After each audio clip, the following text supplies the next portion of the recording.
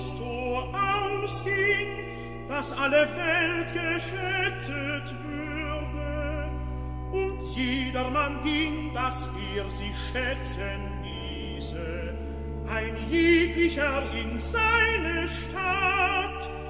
Da machte sich auch auf Josef aus Galiläa, aus der Stadt Nazareth in das jüdische Land, zur Stadt David, die da heißet Bethlehem.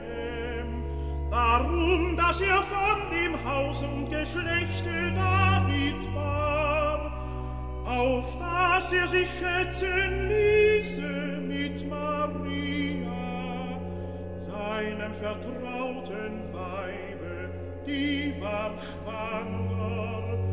und als sie daselbst waren, kam die Zeit, dass sie gebären.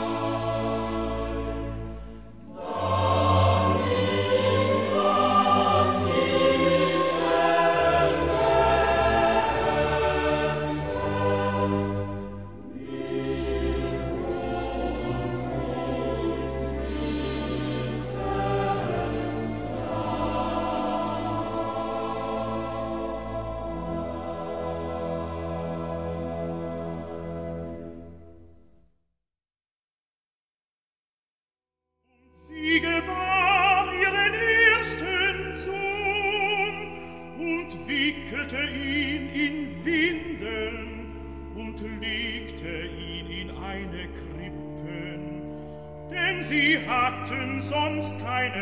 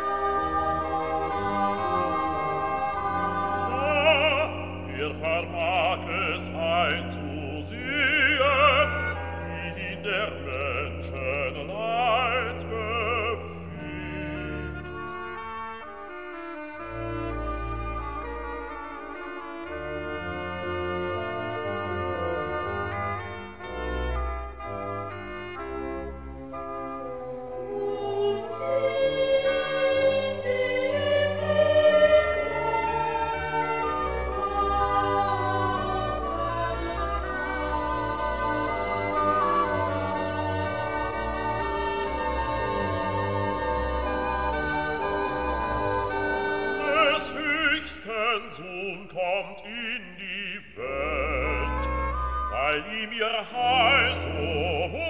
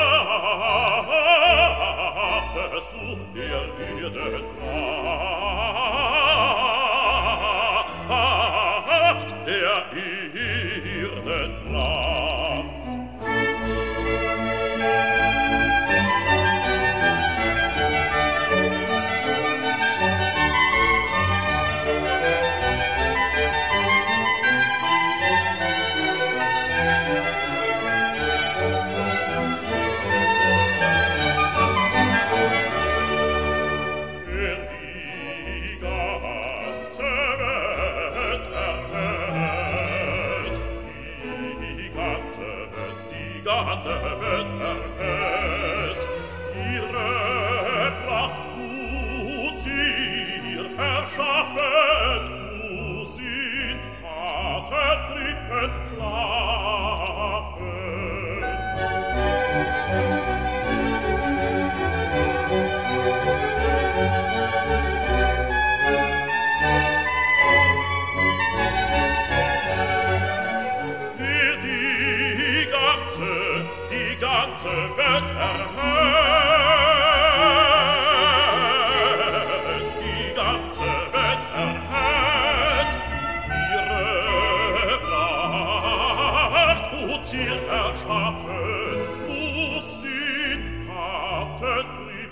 schlafen.